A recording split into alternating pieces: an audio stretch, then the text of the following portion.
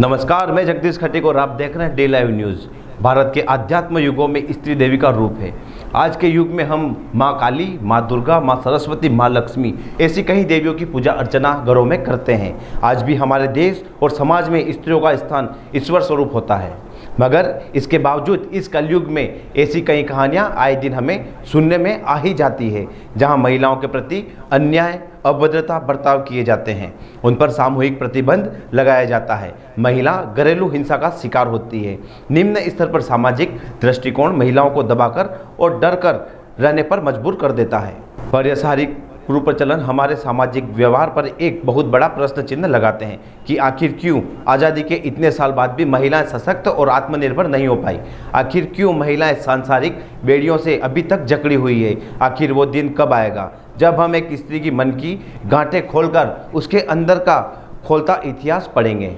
और आखिर कब हम एक स्त्री को रसोई और ग्रहणी की गणित से परे देखेंगे?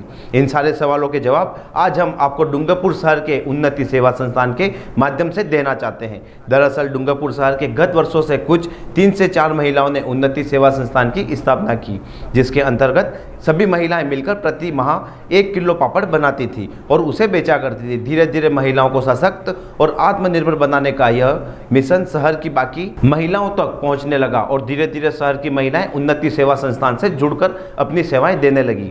धीरे धीरे उन्नति सेवा संस्थान ने पापड़ बनाने के अलावा बाकी कामों में भी अपने हाथ आजमाना शुरू कर दिया। इन कामों में सिलाई मसाला पैकिंग, पत्तल दोना, बनाना आदि कार्य शामिल थे। इस सेवा संस्थान के कार्यों से तत्कालीन सभापति के के गुप्ता को अवगत करवाया गया। सभापति गुप्ता ने नगर परिषद के माध्यम से उन्नति सेवा संस्थान की महिलाओं को सशक्त और आत्मनिर्भर बनाने की इस मुहिम में अपना और नगर परिषद का योगदान देते हुए निर्धारित आर्थिक मदद मुहैया कराई।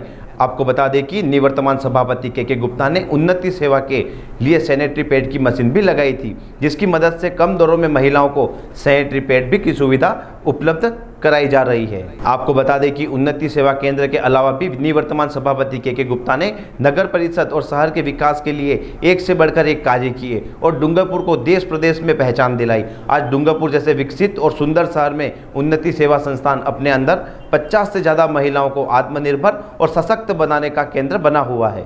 गौरतलब है कि शहर में जरूरतमंद महिलाओं को आत्मनिर्भर और स्वरोजगार हेतु प्रेरित करने के उद्देश्य से आज शास्त्री कॉलोनी स्थित उन्नति सेवा संस्थान में प्रातः दस बजे से साढ़े चार बजे तक स्वरोजगार शिविर का आयोजन भी किया गया है। संस्थान की अध्यक्ष नीलम श्रीमाल ने डी लाइव न्यूज़ से बात करते हुए बताया कि महिलाओं को सशक्त बनाना और महिलाओं को स्वरोजगार से जोड़ने हेतु निवर्तमान सभापति के के गुप्ता की प्रेरणा से संस्था द्वारा एक दिवसीय स्वरोजगार शिविर का आयोजन किया गया है। उन्नति सेवा संस्था के अध्यक्ष नीलम श्रीमाल, आज नगर परिषद सभापति के के गुप्ता की प्रेरणा से हमको उन्नति सेवा के माध्यम से आज हम महिला को रोज़गार शिविर लगाया है।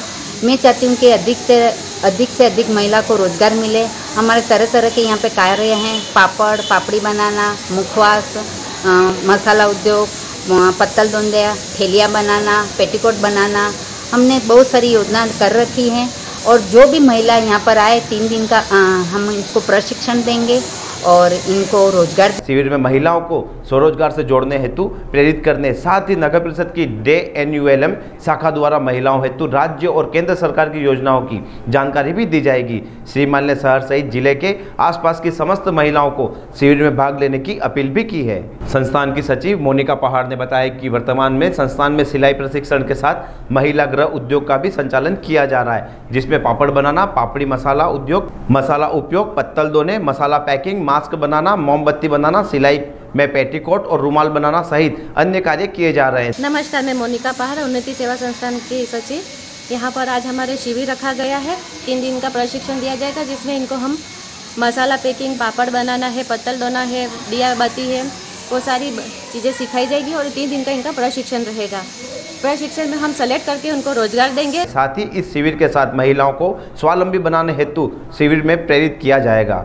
हम सभी जानते हैं कि कोरोना के बाद हमारे देश में गरीब और मध्यम वर्गीय परिवारों की स्थिति आर्थिक रूप से कमज़ोर हो गई है। ऐसे में उन्नति सेवा संस्थान के घर की महिलाओं को सशक्त और आर्थिक रूप से आत्मनिर्भर बनाना बेहद सराहनीय काम है, जिसे पूरे शहर भर का सहयोग मिलना चाहिए। अगर आपने अभी तक हमारे न्यूज़ चैनल को लाइक नहीं किया है, सब्सक्राइब नहीं किया है तो जल्दी से हमारे चैनल को लाइक व सब्सक्राइब करें। धन्यवाद।